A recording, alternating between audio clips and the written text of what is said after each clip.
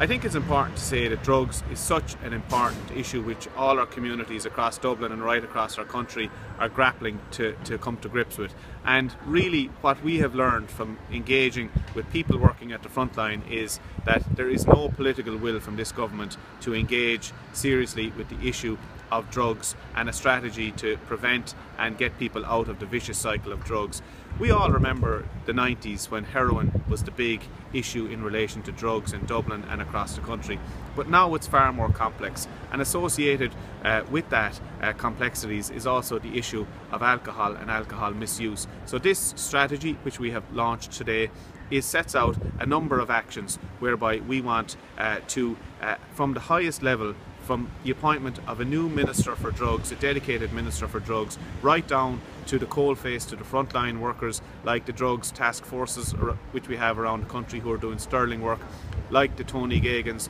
who are dedicated uh, to providing services to, to people who are afflicted by drug addiction. These actions which are detailed in this plan need a priority, they need a focus and it will be rolled out. This plan is implementable if Fianna Fáil, if we get back into government, uh, we will give it the highest of priorities whereby people who are in the spiral and communities who are affected by drugs, by the, the crime associated with drugs, by the burglary, by the fallout, uh, the whole area in relation to, to businesses, how they are affected and tourism, they will all benefit from the rollout of this comprehensive plan.